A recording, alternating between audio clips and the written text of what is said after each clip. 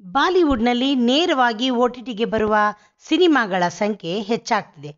Rashmika Mandanna, machine Majnu cinema ಮೂಲಕ B-Town ಪ್ರವೇಶಿಸಿದ್ದರು. ಆ ಚಿತ್ರಕ್ಕೆ ಥಿಯೇಟ್ರಿಕಲ್ ರಿಲೀಸ್ ಭಾಗ್ಯ ಇಲ್ಲ ಎನ್ನುವ ಸುದ್ದಿ ಕೆಲ ದಿನಗಳ ಹಿಂದೆಯೇ ಬಂದಿತ್ತು. ಇದೀಗ ಸಿನಿಮಾ ಯಾವಾಗ ಓಟಿಟಿಗೆ ಬರುತ್ತೆ ಎನ್ನುವುದು ಪಕ್ಕಾ ಆಗಿದೆ. ಶಂತನು ಬಾಗ್ಚಿ ನಿರ್ದೇಶನದ ಸ್ಪೈ ಥ್ರಿಲ್ಲರ್ ಮಿಷಿನ್ ಮಜ್ನು ನೆಟ್ಫ್ಲಿಕ್ಸ್ನಲ್ಲಿ ಸ್ಟ್ರೀಮಿಂಗ್ ಆಗಲಿದೆ. ಚಿತ್ರದಲ್ಲಿ ಸಿದ್ಧಾರ್ಥ್ ಮಲ್ಹೋತ್ರಾ ಜೋಡಿಯಾಗಿ ಕೊಡಗಿನ ಚೆಲುವೆ ಬಣ್ಣ ಹಚ್ಚಿದ್ದಾರೆ. ಈ ವರ್ಷ ಮೇ ಹದಿಮೂರಕ್ಕೆ ಸಿನಿಮಾ ತೆರೆಗೆ ಬರೋದಾಗಿ ಹೇಳಲಾಗಿತ್ತು.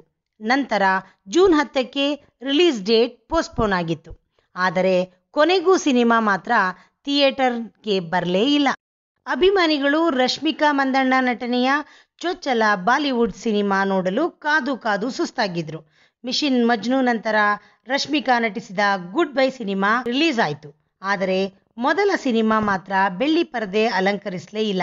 ಇಂತಹ ಹೊತ್ತಲ್ಲೇ ಚಿತ್ರವನ್ನು ನೇರವಾಗಿ ಒ ಟಿ ಟಿಗೆ ತರುವ ಪ್ರಯತ್ನ ಶುರುವಾಯಿತು.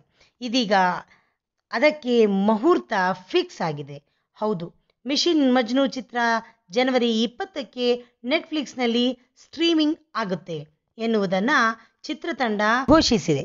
ರಶ್ಮಿಕಾ ಮಂದಣ್ಣ ಕೂಡ ತಮ್ಮ ಸೋಷಿಯಲ್ ಮೀಡಿಯಾ ಖಾತೆಗಳಲ್ಲಿ ಈ ವಿಚಾರವನ್ನು ಹಂಚಿಕೊಂಡಿದ್ದಾರೆ. ಮಿಷಿನ್ ಮಜ್ನು ಬರುವ ಸಮಯ ಬಂತು. ಎಲ್ಲ ಸಿದ್ಧರಿದ್ದೀರಾ?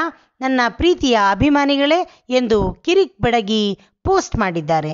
ಸಾವಿರದ ಒಂಬೈನೂರ ಎಪ್ಪತ್ತರ ದಶಕದಲ್ಲಿ ಪಾಕಿಸ್ತಾನದಲ್ಲಿ ನಡೆದ ಭಾರತದ ರೋಚಕ ರಹಸ್ಯ ಕಾರ್ಯಾಚರಣೆಯ ಕಥೆಯನ್ನು ಈ ಚಿತ್ರದಲ್ಲಿ ಕಟ್ಟಿಕೊಡಲಾಗುತ್ತಿದೆ. ಎರಡು ದೇಶಗಳ ನಡುವೆ ರಾಜಕೀಯವಾಗಿ ಆ ಸಮಯದಲ್ಲಿ ಏನೆಲ್ಲ ನಡೆಯಿತು ಎನ್ನುವುದನ್ನು ಹೇಳುವ ಪ್ರಯತ್ನ ಮಾಡಿದ್ದಾರಂತೆ. ಅಂದಹಾಗೆ, ಚಿತ್ರದಲ್ಲಿ ಸಿದ್ಧಾರ್ಥ್ ರಾಯ್ ಏಜೆಂಟ್ ಪಾತ್ರದಲ್ಲಿ ಕಾಣಿಸಿಕೊಂಡಿದ್ದಾರೆ. ಸಿದ್ಧಾರ್ಥ್ ಮತ್ತು ರಶ್ಮಿಕಾ ಮೊದಲ ಬಾರಿಗೆ ಸ್ಕ್ರೀನ್ ಶೇರ್ ಮಾಡಿಕೊಂಡಿದ್ದು, ಸಿನಿಮಾ ಬಗ್ಗೆ ಭಾರೀ ನಿರೀಕ್ಷೆ ಇದೆ ಎಲ್ಲ ಅಂದುಕೊಂಡಂತೆ ಆಗಿದ್ದರೆ ಮಿಷಿನ್ ಮಜ್ನು ರಶ್ಮಿಕಾ ಚೊಚ್ಚಲ ಬಾಲಿವುಡ್ ಸಿನಿಮಾ ಆಗಬೇಕಿತ್ತು. ಈ ಸಿನಿಮಾ ಮೂಲಕವೇ ಕೊಡಗಿನ ಕುವರಿ ಟಾಲಿವುಡ್ನಿಂದ ಬಾಲಿವುಡ್ಗೆ ಎಂಟ್ರಿ ಕೊಡು, ಕೊಟ್ಟಿದ್ರು. ಆದರೆ ಮಿಷಿನ್ ಮಜ್ನು ತಡವಾಗಿದ್ದಕ್ಕೆ ಗುಡ್ ಬೈ ಮೊದಲು ರಿಲೀಸ್ ಆಗುವಂತಾಯಿತು. ಅಮಿತಾಬ್ ಬಚ್ಚನ್ ಮಗಳ ಪಾತ್ರದಲ್ಲಿ ನಟಿಸಿದ ಗುಡ್ ಬೈ ಫ್ಲಾಪ್ ಆಗಿತ್ತು.